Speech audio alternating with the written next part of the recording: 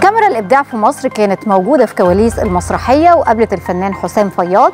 تعالوا نشوف قال لنا إيه في لقائنا معاه اولا أهلا بيك واهلا بالمشاهدين. تجربتي في النقطه العامية أنا بعمل الدكتور حكيم صاحب البيت اللي بتدور فيه الأحداث وهو في نفس الوقت القاضي اللي بيحكم على المتهم في الأحداث اللي إحنا بنلعبها. أكتر من كده يبقى أنا بحرق المسرحية ونتمنى المشاهدين تيجي تتفرج عليها. أمر طبيعي لما بيكون في إعداد كويس للعمل أو للتجربة من الهيئة ومن المخرج ومن المسرح في اختيار كل العناصر المسرحية بالتالي بيبقى في نجاح.